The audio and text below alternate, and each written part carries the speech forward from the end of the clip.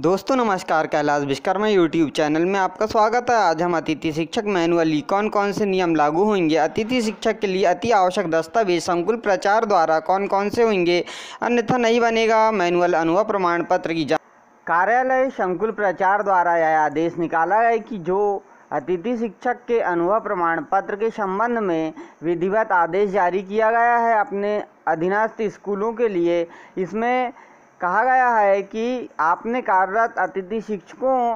के सत्यापन पत्रक पर सत्यापित कर दिया, हस्ताक्षर कर दिया है। इसमें आपके द्वारा अब उन जो अनिवार्य डॉक्यूमेंट है, उसे अनिवार्य अनिश्चित तिथि सत्ताईस मई तक आपको संकुल कार्यालय में जमा करना, जिनमें अतिथि शिक्षक की उपस्थिति पंजी और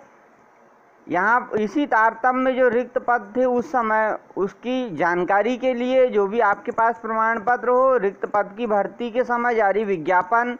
और यदि आपने स्वयं इसके पेमेंट किए तो चेक